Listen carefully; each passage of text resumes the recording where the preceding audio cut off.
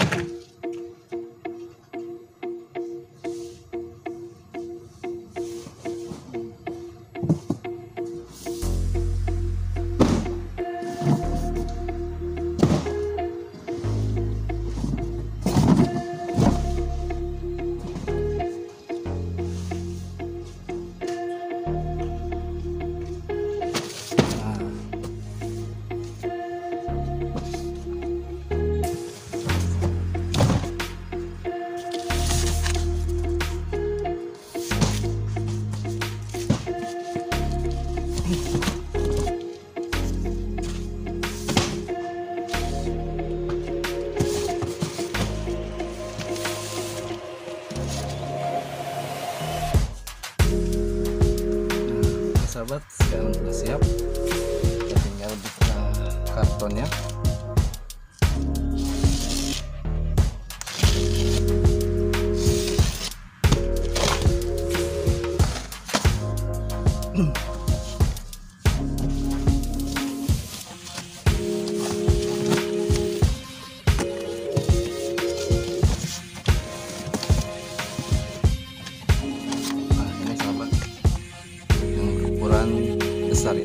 untuk dewasa. Dia kemasannya menggunakan kaleng. Dia berisi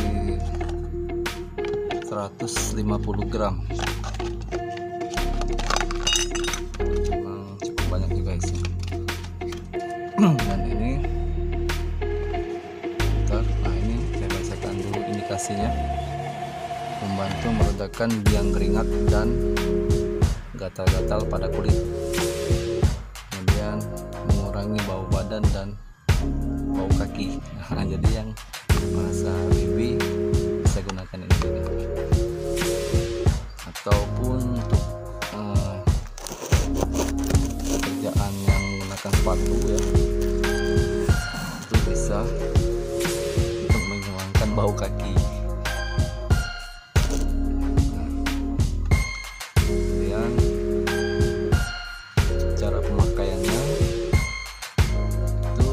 taburkan bedak herosin pada bagian kulit atau tubuh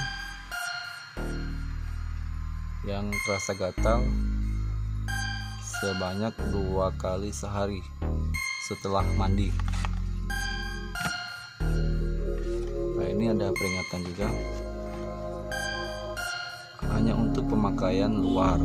Kemudian tidak boleh diberikan pada anak di bawah 2 tahun dan jangan digunakan langsung di bawah lubang hidung. Jadi tidak boleh secara langsung. Kalaupun memang diperlukan harus ada perantara. Semacam kain atau apa gitu. Oke kita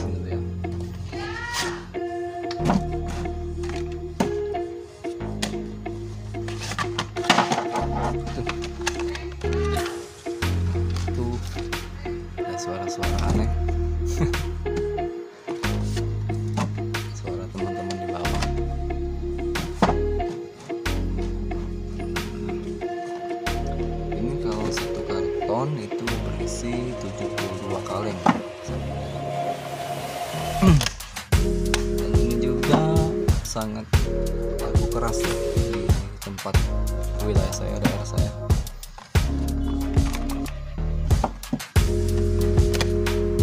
Karena ini juga data juga bisa disebabkan eh, selain dengan handuk misalnya itu juga bisa dengan disebabkan oleh air mandi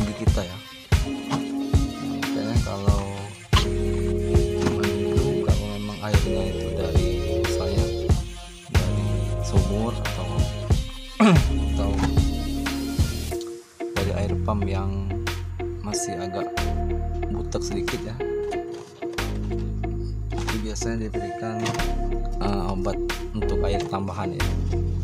Seperti sabun untuk air ya. Ada kan sabun air? Untuk membasmi kuman dan bakteri. Jadi seperti itu sahabat banyak sih penyebab lainnya seperti tidak bisa makan ikan atau udang ya biasa.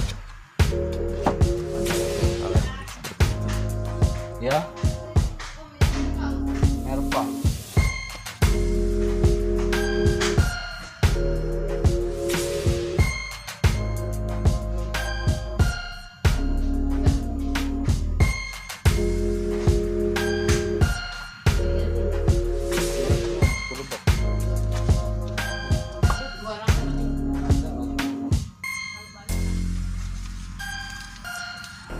Oke sahabat.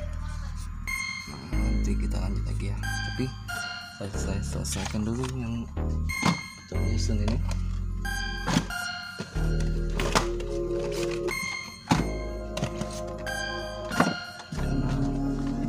Prinsip saya itu kerja tidak boleh tanggung